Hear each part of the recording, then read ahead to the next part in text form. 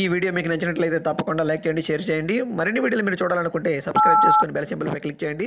మీరు గతంలో సబ్స్క్రైబ్ చేసుకుని ఉన్నట్లయితే బెల్ సింబల్పై క్లిక్ చేసి నోటిఫికేషన్స్ ఆన్ చేసుకోండి. అప్పుడే మీకు మా కొత్త వీడియో సమాచారం ఎప్పటికప్పుడు మీకు తెలియజేయబడుతుంది. టిక్ టిక్ మంటూ నడుస్తున్న గడియారం అనే పాఠ్యాంశంలో గడియారంలోని సమయాన్ని ఎలా చూడాలో విద్యార్థులకు మనం నేర్పించడానికి అట్టముక్క సహాయంతో ఈ విధంగా చిన్న గడియారం టీఎల్ఎంను మనం తయారు చేసుకోవచ్చు. దీని ద్వారా గడియారంలో సమయాన్ని ఎలా చూడాలో విద్యార్థులకు సులువుగా నేర్పించవచ్చు.